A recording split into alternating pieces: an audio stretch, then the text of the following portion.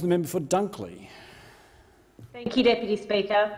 My community, like communities across our nation, are in lockdown today because of the Prime Minister's stubborn insistence that the vaccine rollout was not a race, because of the Prime Minister's failure to listen to calls last year to obtain more and more types of vaccines, because of the Prime Minister's failure to start this year with any of the necessary sense of urgency to get the vaccine into arms until Delta gave him no choice and because of the Prime Minister's refusal over the 18 months of this pandemic to set up a national safe quarantine system.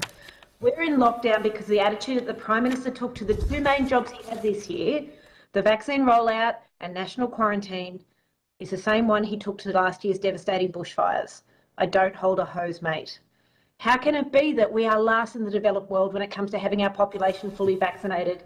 It's simply not good enough. Every day, members of my community do everything they can to contribute to the public health response. They have sacrificed. They've juggled working from home with helping their children with remote learning. They've worked on the front line as health professionals and carers and cleaners and childcare workers and disability support workers for the benefit of others and at risk to themselves. They've lost their jobs.